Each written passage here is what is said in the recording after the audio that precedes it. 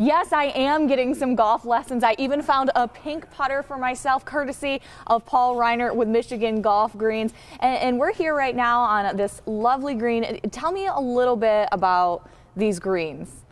So uh, the synthetic golf greens became really, really popular about 20 years ago, and um, now more so than ever, we've not only developed from the golf greens perspective, but the lawn products are becoming a huge part of glo global the, the global economy. I mean, because these synthetic grasses are they won't break down, they last, they're environmentally friendly, they can be used in all applications from inside, outside, rooftops, you know, uh, down in basements. We're using them from colleges to homeowners to businesses are putting these inside of their businesses for their employees to enjoy.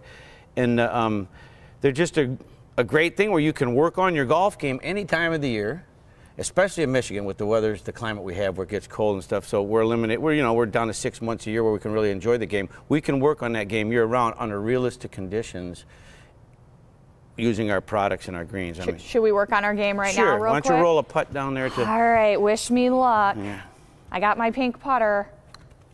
Ooh. That's all right. It's a pretty good go. Go on, give we're her trying, shot. We're trying. We're trying. Now, you were also telling me too. This is a great gift, maybe for your boyfriend, fiance, yeah. husband. If you're fortunate enough, I tell you, we've the, the big trend lately has been as presents and gifts for Father's Day, birthdays, or whatever to surprise them with a with a putting green. What a great surprise, oh especially gosh. for a nice man cave. I'm going to aim for this yeah. one right here. This one's a lot closer. We'll see. Ready?